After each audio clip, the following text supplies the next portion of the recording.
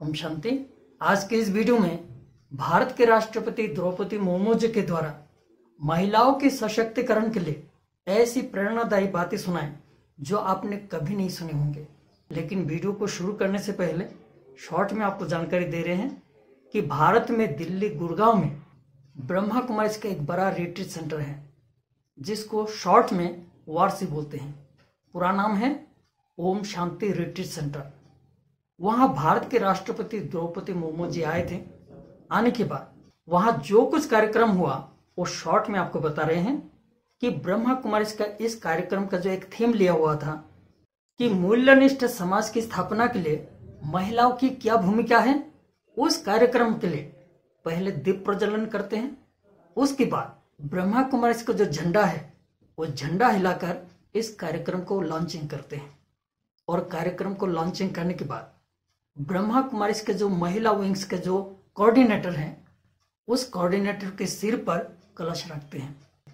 और महिलाओं के सशक्तिकरण के लिए जो प्रेरणादायी बोल बोले, आप डायरेक्ट द्रौपदी मुर्मू जी के मुख से आप सुनिए।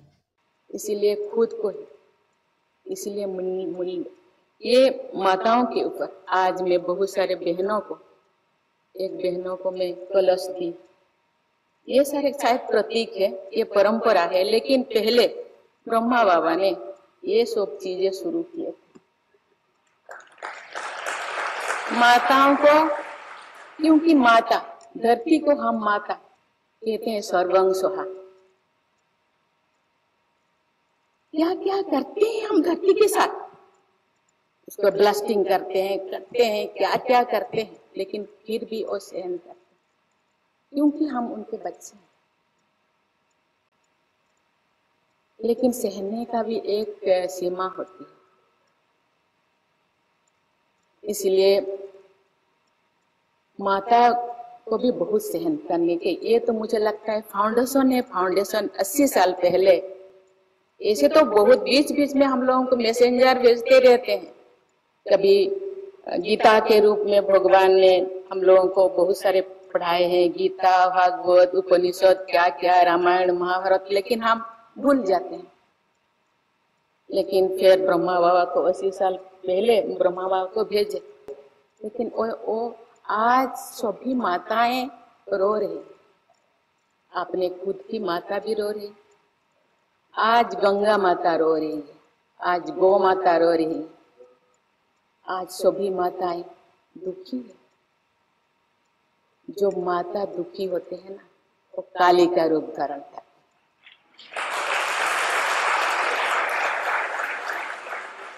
इसीलिए अभी भी अ, समय बाकी है हम लोगों को सजाग होना पड़ेगा और इसके जो दायित्व इसके जो रेस्पॉन्सिबिलिटी माताओं को लेना पड़ेगा क्योंकि माता ने भगवान ने सहन शक्ति, धैर्य शक्ति, स्नेह ममता तो दिए। लेकिन इसके साथ धैर्य शक्ति, सहन करने का शक्ति, बोझ उठाने का शक्ति, माता बनने का शक्ति, इसके साथ साथ मुझे लगता है अभी शांति बनाने का शक्ति, सुख, शांति, आनंद, प्रेम फैलाने का शक्ति भी हम लोगों को अपने हाथों में लेना चाहिए।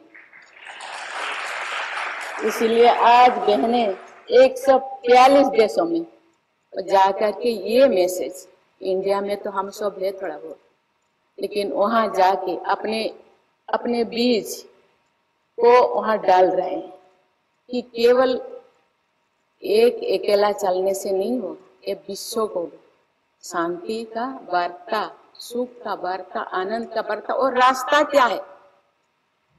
Way of living art of living ज़िंदगी जीने का शैली। हम कैसे जिए?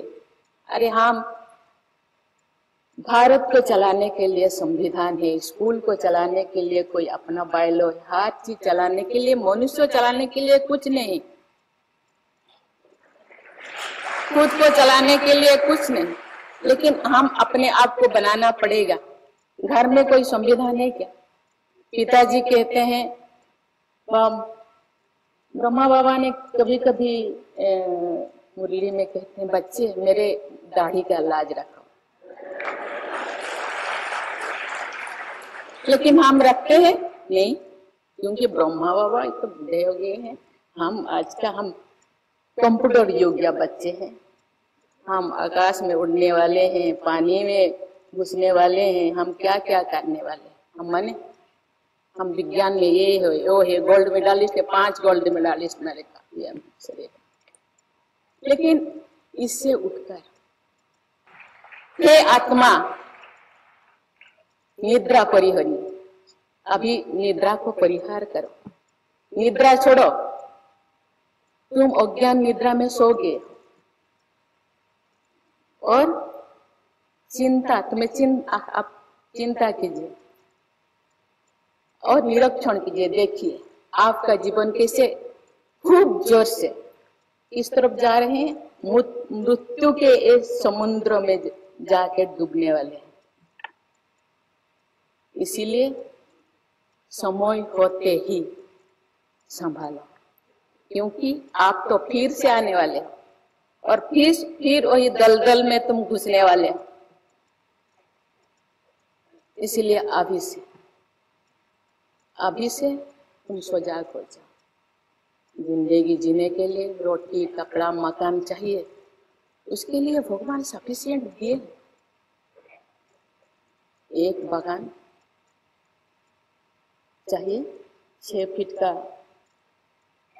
एक खटिया दो कपड़ा, दो रोटी, जब एज हो जाता है तो मैं तो दो रोटी से ज़्यादा कल पेट खराब